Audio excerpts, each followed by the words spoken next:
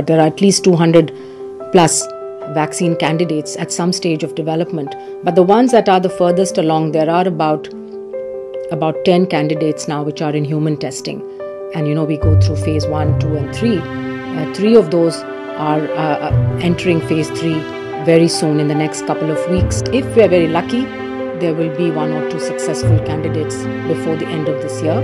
2021, that we will have 2 billion doses of a one or two or three effective vaccines to, to be distributed around the world.